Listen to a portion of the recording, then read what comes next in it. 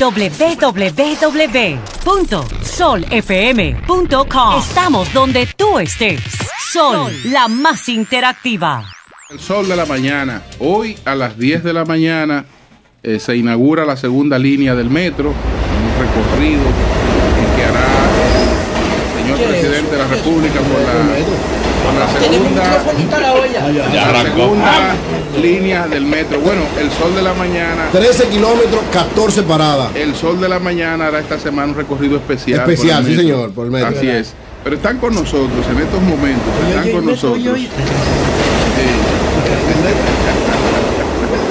Señores, están con nosotros Desconecten los micrófonos un rato allá. la ingeniera Claudia Francesca de los Santos, viceministra del área de edificaciones. Ya no se llama así. De lo dejaste incompleto. Obras Públicas. Lo dejaste incompleto. Ya tú quieres que vengan para acá un grupo de policía a meternos preso a todos. Claudia Francesca de los Santos de Goico, De Goico. esposa del general Boris Goico. Para las personas que llaman a preguntar, es casada y la investigación sobre el arreglo de flores allá está en su en su curso. Y es Una investigación Goico, no es exhaustiva. Goico que decía. viceministra Sí, sí, de área de edificaciones. ¿Tú De, crees, Julio, ¿tú crees que esa mujer se deja de que, que le investiguen y vaina y que... y de- que- No, no, hay que mandar un ramo de Gracias, la luz, gracias. Eh, Mandaron un ramo de que de déjame flores. investigar quién te mandó las flores. ¿A usted No. le importa quién mandó flores? Y otra. Eso es así. No, pero no porque no es ella, fue Boris. Ese discurso machista. No, ¿no? no, mío, no, no Que soy yo. No, ya pero- es de ella. No, pues, entonces después de que, después de que yo no soy la que pongo foto en el Vivi con la pareja cuando estoy, tú sabes. ¡Ay, Víctor! Para enfriarse. ¡Vida! señores, eh, Eila Vargas está aquí también. Ella es la encargada de las asistentes. además, además de, de la ingeniera Claudia Francesca de los Santos, la viceministra de Edificaciones del Ministerio de Obras Públicas, está la arquitecta eh, Eila Vargas eh, español. Ella es la encargada de proyectos especiales de la Presidencia de la República. Ella es de España. Está el, el ingeniero Axel Pimentel Arbaje, encargado del plan de, Diablo, ese nombre de, rico. bacheo. Y eh, un poco más adelante tendremos a, a otros ejecutivos del Ministerio de, de Obras Públicas. Esa era funcionaria de obra Que- pública, pero no ha puesto una mezcla en su vida. Vamos a tratar varios temas importantes, pero yo quiero que yo quiero que arranquemos con el con el último, con la experiencia de este operativo de Semana Santa 2013. Pregúntale que de quién fue la idea del 829-688-1000, esa línea, y cuántas llamadas recibió y cuánta gente asistieron. ¿Tú tienes un micrófono ahí, Víctor? Adelante. Vamos hubo una iniciativa muy buena, novedosa este año.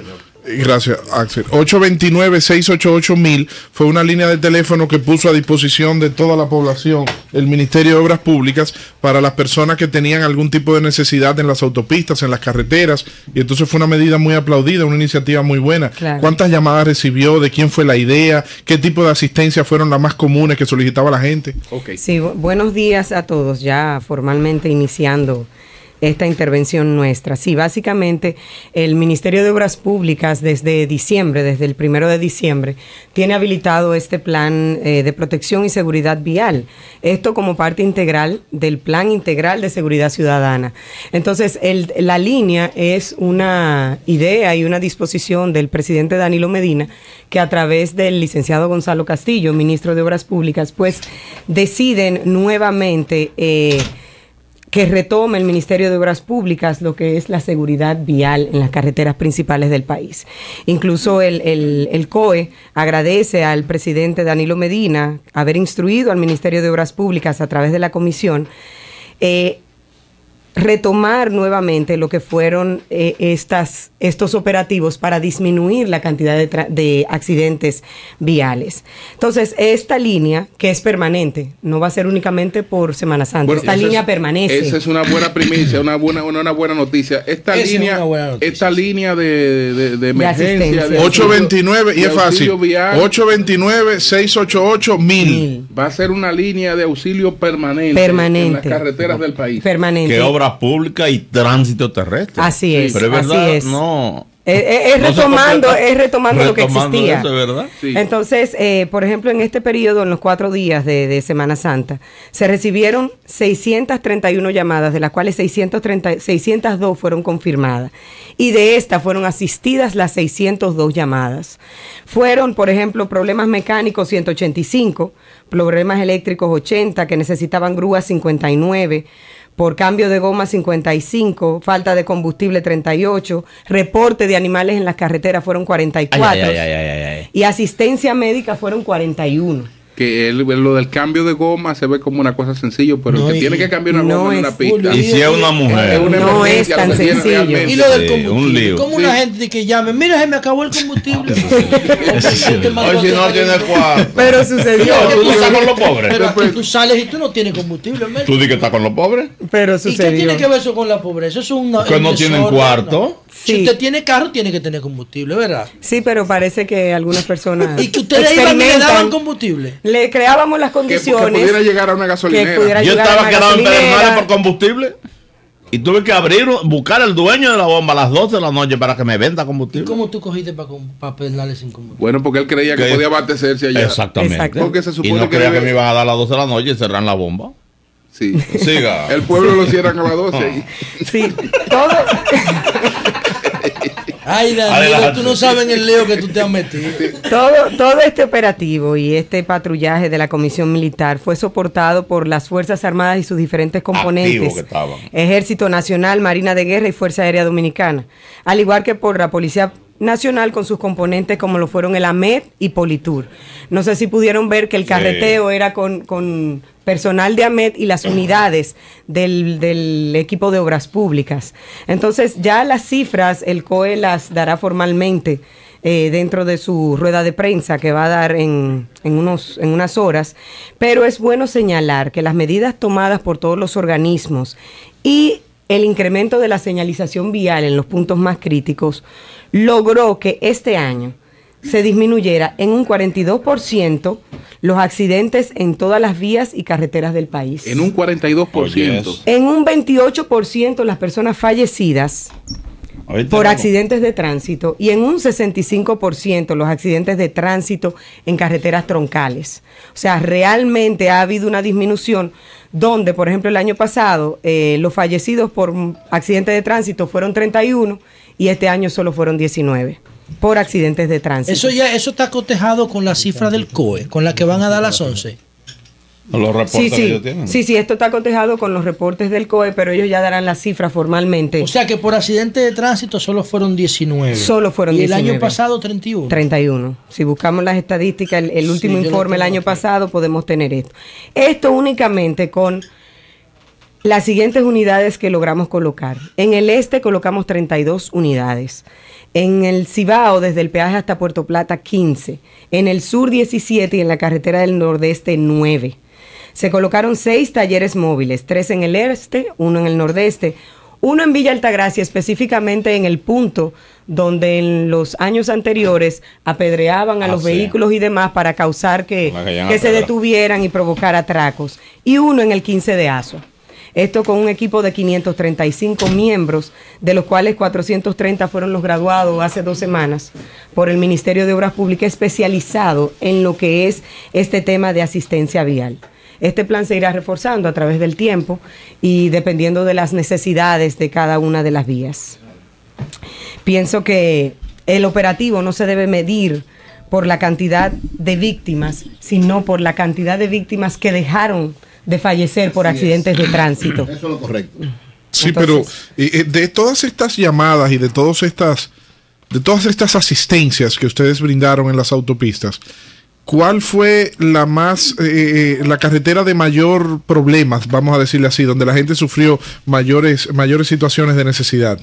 Mira, realmente hubo, hubo un equilibrio entre todas, porque por ejemplo tú tienes que Navarrete Puerto Plata, por sus kilómetros y por la buena señalización que ahora tiene, pues es la primera vez que no tuviste ningún accidente de O tránsito. sea, no hubo ninguno en Navarrete No, Puerto Plata. hasta, hasta, el hasta anoche el Qué reporte bien. fue que Navarrete Puerto Plata por primera vez no hubo ningún accidente esa, de esa, tránsito. esa carreterita era complicada. Y lo mismo Puerto Plata Cabarete. Entonces, yo quisiera que este tema de cómo logramos que en esta carretera no hubieran accidentes esta Semana Santa, la arquitecta Eila Vargas ampliara un poco al respecto. Sí, y además de, de- de esta carretera, la carretera La del Coral. Navarrete Puerto Plata, eh, esta carretera que están en, en- en ampliación en el caso del este, aunque había mucha señalización, eh, ¿cómo se manejaron eh, en esta en esta Semana Santa?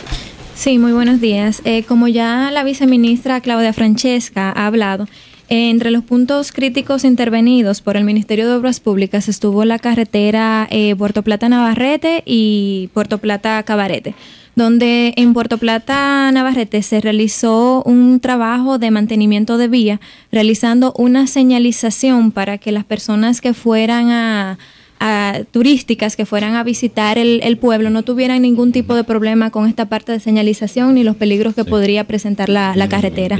Se realizó un programa de bacheo eh, en esta carretera y también en Puerto Plata Cabarete se realizó lo que fueron los, eh, los reductores de velocidad y la señalización también de las vías. Eh, con esto, como dice la viceministra, es la primera vez eh, en, en la historia de la, de la República Dominicana donde no pasa ningún tipo de accidente en esta vía. Y en el caso de la, de la carretera, de la carretera del El este, Coral. Sí, estamos hablando primero de la, de la autovía del este que está en un proceso de, de, de ampliación y la carretera La Romana San Pedro de Macorís que también está en un proceso de, De ampliación. de ampliación o, o- o es- Así es. o esta es de Sí. reconstrucción Sí, porque reconstrucción hay una parte dañada. Circunvalación romana también. Sí, Sí, esto es todo parte de ese gran circuito que se está conformando en el este, donde también desde Bávaro vamos a Miches y desde Miches vamos a Tomayor. O sea, es todo un circuito, es todo un circuito y en esta vía se está trabajando. ¿Qué se hizo para el operativo? Tratar de aumentar la señalización, porque como es una vía en construcción, pero que, que se podía permitir el uso de ellas, tomamos las previsiones de que muchas, mucha señalización donde se permitió circular en dos carriles estuviera bien clara y se le, pedía, se le pedía a los conductores la reducción de la velocidad para evitar accidentes. Esto siempre pasa en esas vías donde donde tú la tienes en construcción, pero para operativos como este necesitas abrirla al público para que sea más eficiente la circulación. Y los resultados han sido muy buenos de todo, de todo el operativo. Hace un momentito nos hablaba la arquitecta Eila Vargas Español. Ella es la encargada de proyectos especiales de la Presidencia de la República. ¿Cuáles son esos proyectos especiales de la, de la ¿Tú eres Presidencia de la familia del médico español de Santiago? sí, Ay, De Sánchez Español. sí. espa- el- No, a él, viejito, la miel que dijo. fa- español es un solo No, apellido. que está dirigiendo el joven, uno de los hospitales de este país. cuidado. Que cuando le di una vaina, estaba en el medio del dijo. Le dio, le dio un mareo. Un "Médico, médico, médico. No, no, tú sabes que no fue ese. Uno de los mejores hospitales de este país. Sí, Yo conozco, yo conozco el doctor. que lo llevaron para No, Miami. porque su médico estaba allá y no, Sí. no tenía, no el desarrollo cardiovascular todavía en el hospital. Estaba ya el médico. ¿Y tú qué eres? No, pero la, un pero la señorita, la señorita Eila, Eila Vargas Español, usted es arquitecta, ingeniero. La Arquitecta. Yo la Arquitecta. hablando con tanta propiedad. Sí. Sí, pero que le decía, Gracias. le comentaba yo a Axel Pimentel que qué bueno ver personas tan jóvenes. Axel Pimentel es ingeniero, Eila es arquitecta, Arquitecta. y Claudia Y Francesca es la viceministra del área. Qué bueno La ver un equipo de gente jóvenes trabajando en esta Sí. con tareas tan responsabilidades Pero tan delicadas. ¿no? Le, le preguntaba por esta, los proyectos especiales de la presidencia. Sí, actualmente en el Ministerio de Obras Públicas, eh, el licenciado Gonzalo Castillo ha creado una dirección que es la dirección que se encarga de manejar estos proyectos que el presidente visita, o sea, en las provincias. El presidente visita todos los domingos una provincia distinta, entonces esa dirección se encarga de de darle seguimiento y de que esos proyectos se lleven a cabo, como son promesas del presidente. O sea, cada vez que el presidente sale a una visita sorpresa a un charco, usted va con él. No, no voy con él. O sea, Ah, me mandan, exacto. Ya me hacen llegar O sea, que el siempre requerimiento cuando del, supe lo del que la gente presidente no y- y, entienda, se lleva a cabo. Porque, porque como son sorpresivas, no están, no están organizadas, ellos no saben necesariamente dónde va el presidente, pero sí ya después que el presidente hace los compromisos Se lo pasa a esa unidad. y le dan y le dan seguimiento. Hasta ahora, eh, ¿qué, ¿Cuántos, exacto, cuántos proyectos especiales hay de lo que el presidente se ha comprometido en eso, para esa unidad? Actualmente hay 46 proyectos. O sea, por lo, 46. por lo menos uno por semana, ¿verdad? Porque él siempre ofrece Sí, uno por lo menos uno. sí, lo que pasa es que hay distintos ministerios a los cuales le tocan diferentes eh, promesas. O sea, por ejemplo, de 10 promesas que, que el presidente diga en un domingo, por ejemplo, puede ser que al ministerio le toque 5, le toque 3, diferentes, diferentes toca a la cantidades. Le toca a Exacto. Le toca O hasta Le, le diferentes ministerios. Eila, pero me gusta ese carguito tuyo. Eila Vargas, tú eres la. o sea, estamos hablando, para decirlo en buen dominicano. No, no, no, que me gusta la responsabilidad que ella tiene, es un Ah. bonito trabajo. Estamos Sí, hablando que es, Eila muy es, lindo. dicho en buen dominicano, Eila es la responsable de que Danilo Medina cumpla todas las promesas que sobre el área de obras públicas hacen cada una de esas visitas. Así ese es. es un puesto por decreto. Le designó el presidente ahí. No, no, el pero- ministro. Eh, eh, ha sido el ministerio para darle seguimiento a los proyectos. Oye, Eh, eh, ¿tú eh, sabes? Pero espérate un momentito. No, pero yo le pregunté fuera del área a ella. Ah, entonces tú eres la encargada del Poder Ejecutivo con el Ministerio de Obras Públicas y te nombraron. No, al revés. Me nombró el Ministerio para con el Poder Ejecutivo ser la responsable de darle seguimiento. Claro, Así es. Entonces, pero hay una cosa que, que puede crear eh, confusión. Porque cuando el presidente va y hace, se compromete con alguna obra, con alguna realización, se supone que esa obra eh, son de la, están en presupuesto. ¿O cómo se resuelve Ah, eso? es ¿Cómo, cómo se concilia eh, lo que Lo que promete el presidente lo que en función del promete el presidente en función de las obras que están aprobadas en el presupuesto? Que, que- Francesca, vamos a ver. Perdón. Francesca, Francesca. Bueno, ¿Cómo se resuelve desde el punto de vista económico? Sí. El presidente promete muchas cosas, Sí. pero no están en presupuesto. No, no, no. Eh, muchas de las de las promesas son obras que no son de gran envergadura. Ah. Entonces, eh, cuando él la lleva la información al ministerio, las, las diferentes áreas del ministerio comienzan a ejecutar lo que es el levantamiento de esa promesa, lo que va a costar esa promesa. Entonces, el Ministerio de Obras Públicas hace dos cosas. Dependiendo de la inversión, bueno, ¿cómo podemos introducirlas este año? o cómo la programamos para el 2014. Porque recuerden que la obra que no está en el presupuesto es una obra que no podemos ejecutar. Así es. Entonces, eh, básicamente eso es lo que hacemos, dependiendo de la inversión, pues determinamos en qué momento la obra será iniciada. Ah, perfecto. Porque hay algunas obras pequeñas, por ejemplo, el presidente, Y- el presidente tiene manejo de algunos recursos a través del Ministerio de la Presidencia. Entonces, suponemos que usted le hace la evaluación y entonces él decide, busquen esos recursos y ustedes la hacen. Así es. Eila, con tu permiso, permíteme al ingeniero Axel Pimentel, Claro. que es el encargado del plan de bacheo. Ahorita, Eila, si tú quieres, para que la tenga ahí en, en el círculo de espera, una lista de cuáles son las principales promesas que ha hecho el, presi- el presidente Medina Ay. y que tú tienes pendiente ahí dándole seguimiento. Y a Axel Pimentel me escriben por aquí para pedirme que le haga dos preguntas con respecto al tema de bacheo. Y es el tema del expreso quinto centenario, que el Ministerio de Obras Públicas habilitó lo que fue el, el- el elevado de la 30 de mayo, y entonces el quinto centenario quieren que los moradores, que se le dé ese mismo tratamiento, que lo arreglen, que tiene muchos hoyos, y el semáforo de la República de Colombia con eh, Jacobo Magluta. Esos dos temas me piden, pre- te pregunte. Axel Pimentel, encargado del plan de bacheo, ingeniero Axel Pimentel del Ministerio de Obras Públicas. Sí, muy buenos días a todos. Eh, en cuanto al quinto centenario, el quinto centenario se, se- se comenzó a trabajar en cuanto a las aceras y contenedores, reconstruyéndolo. Ya ahora, luego de Semana Santa, vamos a empezar a trabajar con el remozamiento del, del elevado, que en las juntas y toda la baranda que estén destruidas se van a comenzar a arreglar, como hicimos con todos los otros elevados del corredor Kennedy y de la 27 y el de la, el de la 30 de mayo, como usted dijo. Todos estos planes de los planes de bacheo se llevan a cabo a través de los acuerdos con las alcaldías municipales o aparte de esos acuerdos, obras públicas eh, también hace hace bacheo. Sí, parte con lo, con el acuerdo de la alcaldía y también con obra pública. Nosotros contona- contamos con personal de nosotros, el cual realizan el trabajo de bacheo y al mismo tiempo con, con personal de, los, de las alcaldías. Nosotros le suplimos el asfalto y con el personal de ellos y supervisores de nosotros que lo supervisan, los bacheos que realizan, también eh, realizamos el trabajo de esa manera. Hemos eh, aquí en el distrito trabajamos con brigada de nosotros y también del, de, de la alcaldía, igual como en Santo Domingo Norte, Este y Oeste. También hemos trabajado en San Cristóbal, en partes de Baní, partes de Asua, Cabeza de Toro, Bávaro, y iremos ampliando a toda la geografía nacional. ¿Ustedes saben cuántos cuántos kilómetros ya ha abarcado este plan de bacheo? Sí, hemos, hemos alcanzado casi unos, unos 500 kilómetros. 500. Sí. Sí, e- e- es bueno ampliar un poco con relación a este programa con las alcaldías.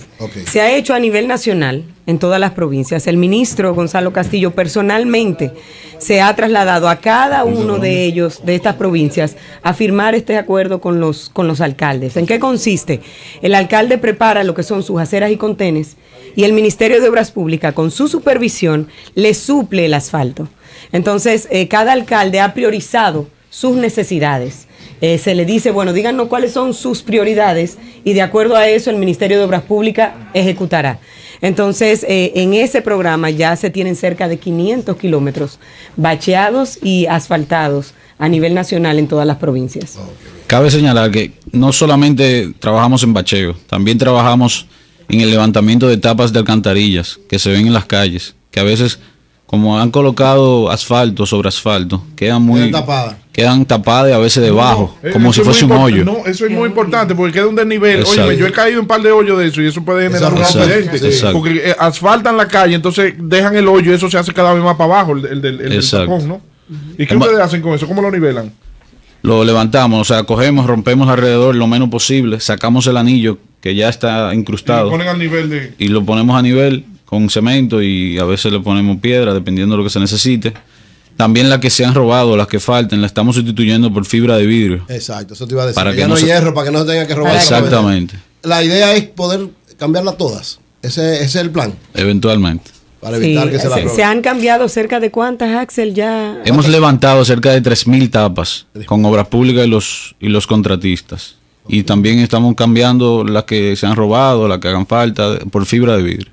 Sí, pero por favor díganle al alcalde de Santo Domingo Este, ¿cómo que se llama? El de Santo Juan Domingo Este. Mejor- el mejor síndico de Ese, este país. eh, el, el- el próximo miembro del comité político, Juan de Julio. los Santos. D- Dile a él, Julio, por favor, tú que eres amigo de él, que no se coge el asfalto de obra pública entero para el municipio de él, que lo reparte entre los otros síndicos, porque el único síndico que yo veo con plan de asfalto y No, haciendo no, no, plan de no, asfalto, no, no, yo no sé si es porque el presidente Fedomo. Víctor, permíteme, permíteme corregirte, Víctor. Dime, dime. El plan, el, el plan que se ha hecho, el acuerdo es con todos los a- alcaldes, sin importar Dile a Juancito, política. dile a Juancito eso, que Lo nada que pasa es se que a, lo mejor, para él. que a lo mejor Juancito priorizó unas áreas que son las que más tú ves, pero todos los demás alcaldes tienen su plan igualito, no, hay, no hay preferencia. eh, hay algo que ha llamado mucho la atención y que ha merecido el aplauso de prácticamente toda la, toda la sociedad, porque lo he escuchado en muchos lugares, y es el hecho de la señalización. En esta gestión de ustedes, al frente del Ministerio de Obras Públicas, el equipo del licenciado Gonzalo Castillo, han señalizado las principales avenidas, autopistas, carreteras, no solamente con pintura, sino también con los, Ojos de gato. con los ojos de gato. Y reductores de velocidad. Y reductores de velocidad, sí. Sin embargo, en la autovía del Este, cuando transitas desde Santo Domingo hasta Punta Cana, Macao, en Verón, está completamente señalizada y con los ojos de gato.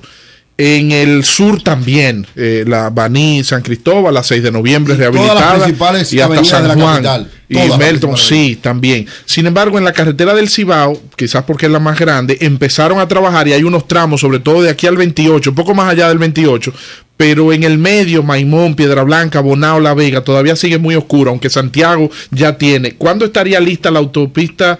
La autopista Duarte, al igual que como está la del este y del sur, así completa con la señalización y los ojos de gato. Sí, tú sabes que hasta el kilómetro 28 es responsabilidad del Ministerio de Obras Públicas esto. A partir del kilómetro 28 ya hacia Santiago y hasta Puerto Plata. Debe llegar hasta el existe- 29. no, porque en el 29. Más para allá de lo más linda, ¿verdad? El, 20 el 29 Que que cruce está- la entrada de los el Malí. 29 que está a la entrada de el 29. Pero, pero el plan, el plan va a continuar. Lo que pasa es que la autopista Duarte es una autopista que eh, sufre un deterioro. Y entonces para tú señalizar, tú tienes que tener tramos que el asfalto esté en buenas condiciones para tú poder señalizar. Sí. Porque si no puedes tener una señalización torcida, las líneas torcidas y demás. Entonces, como esto es parte de una concesión, lo que se está trabajando es para que se rehabilite el asfalto lo mejor que se pueda y entonces continuar con la señalización, aunque en algunos puntos, como la entrada y la salida de las principales ciudades, se va a iniciar ese plan de señalizar esas entradas y ciudades y donde se pueda iluminar también. A propósito Me del interesa. kilómetro 29, escúchame, Melton, un saludo para Niño Batata, el mejor batatero Oye, que hay oye, oye, el oye. Ni- Niño Batata. Diablo, Julio, ¿cogiste una libre batata frita ahí por intercambio? No, Oye, no, no. Oye, nosotros estamos, nosotros tenemos sensores sonoros Sí. en el metro ahora mismo y Julio hablando de que de, De batata niño frita. batata. Niño batata. No, pero tú sabes lo bueno que una batatica frita ahí. de guayaba. Oye, Me interesa preguntar del sur. ¿Sabes que le ponen Vamos, alambre a la sí, batata? antes, antes del Sí. sur, antes, del sur, para que vengamos con el sur ahora. Son las 9.31 minutos, vamos a hacer una pausa.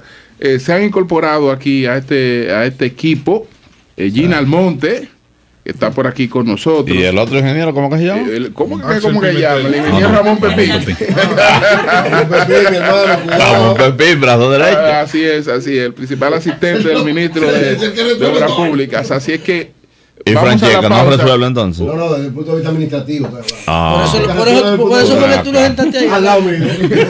Cambio y fuera, mano. de la mañana. www.solfm.com. Estamos donde tú estés. Sol, la más interactiva.